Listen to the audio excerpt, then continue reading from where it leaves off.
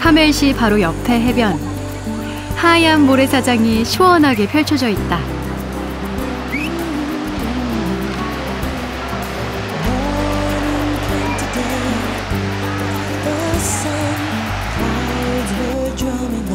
이름도 특별한 이 도시는 예술가들의 도시로 유명했다. 영화배우 클린트 이스트우드가 시장을 맡기도 했던 곳이라고 한다.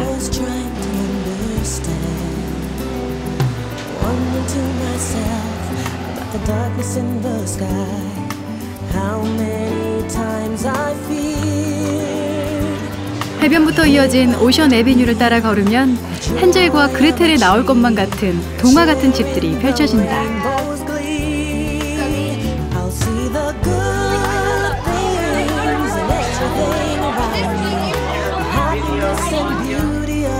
곳곳의 갤러리에서는 캘리포니아 작가들의 화려한 작품들이 전시돼 있다.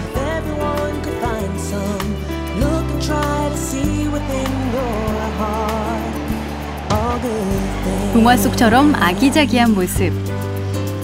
이 모든 색다른 풍경들이 사람들의 마음을 따뜻하게 한다.